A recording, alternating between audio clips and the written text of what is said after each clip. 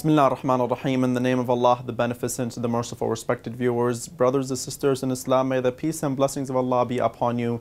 Welcome to the ninth episode of the Treatise of Rights series with me, your host, Ali Jasim. Today we will start with the right of the trainer through knowledge.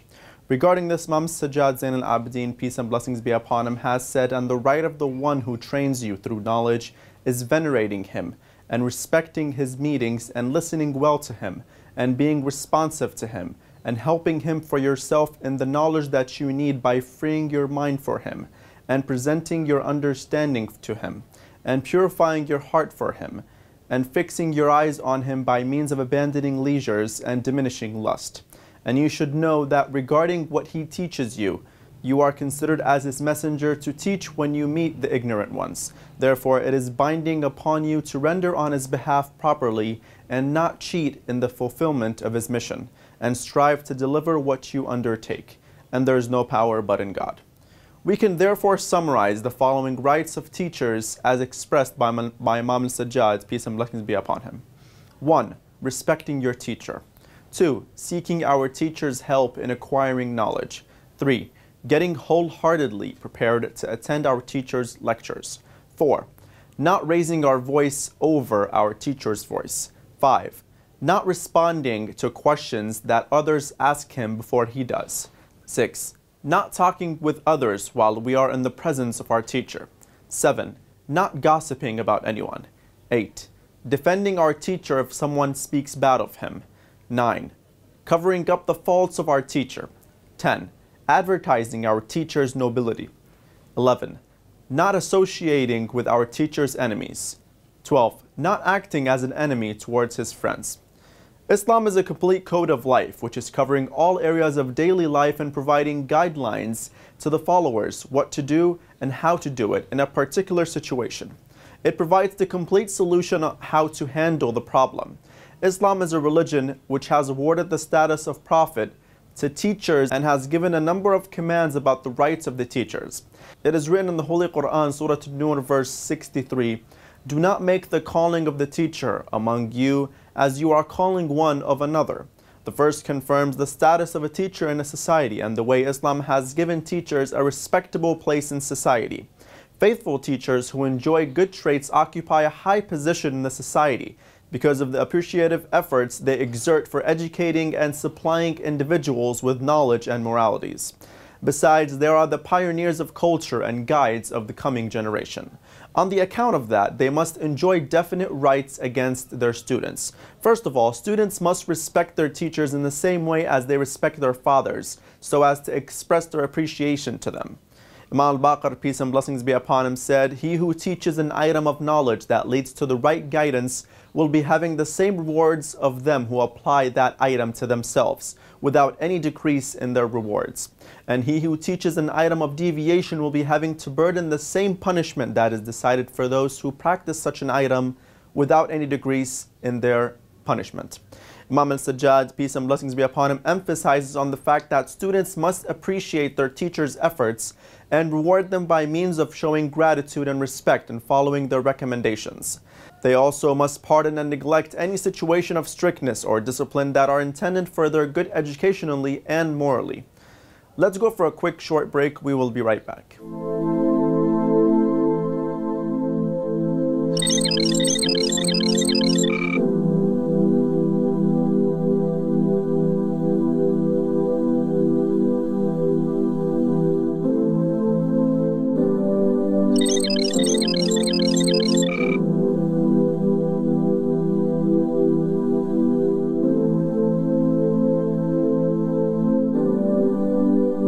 Thank you.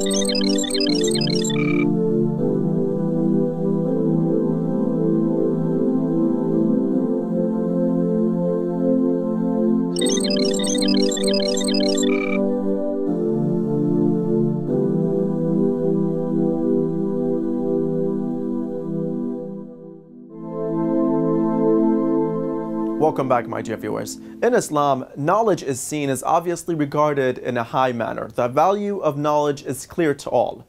Everyone values knowledge and is naturally humble to those who possess it. The Prophet of God, peace and blessings be upon him, his pure family, who is the seal of the prophets, is told to read in the very first instance of receiving divine revelation, read in the name of the Lord and the Cherisher, who created. The Holy Quran Al-Alaq, chapter 91, verse 1. Then the subject of teaching, the use of the pen, is revealed. He who taught the use of the pen taught man that which he knew not.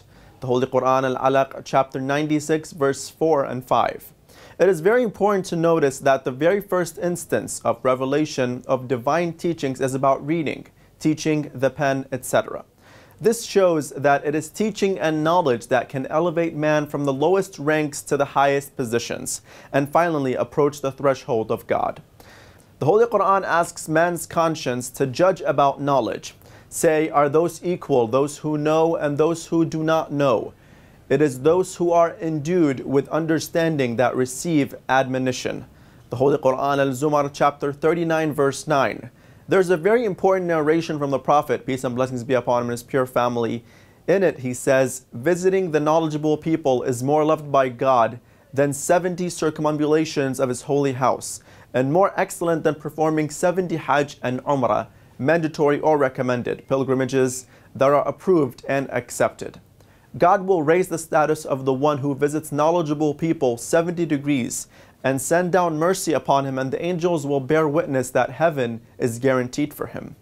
The Prophet Muhammad, peace and blessings be upon him, has also said, No believer sits with a scholar for an hour, but that his Lord, the exalted, the high, calls out to him, You sat with my beloved, I swear by my majesty and honor, I will make heaven your abode. There are no obstacles for this. From this, we can clearly tell the immense magnitude and the effects of sitting with and visiting knowledgeable individuals. Both the student and the teacher are promised heaven. This reward is only meant for the teacher and the student who have pure intentions and work for God's sake. Imam al-Jawad, peace and blessings be upon him, has said, Whoever listens to a speaker has worshipped him. If the speaker is from God and is teaching divine things, then the listener has worshipped God. But if the speaker speaks through the tongue of Satan and is saying evil things, then he is worshipped Satan. Here the Imam, peace and blessings be upon him, emphasizes and stresses the fact that what we hear can be so influential on ourselves. In the Holy Quran it says, Then let man look at his food and how we provide it. For what we pour forth water in abundance, for that we pour forth water in abundance, and we split the earth in fragments and produce therein corn. The Holy Quran, chapter 80, verses 24 to 27. Now, if we were to read this verse, we would conclude that it's talking about food and what we eat. But if we were to analyze and read the narrations of the Imams, we would conclude something else. The Immaculate Imams, peace and blessings be upon them, have interpreted them to refer to our spiritual food.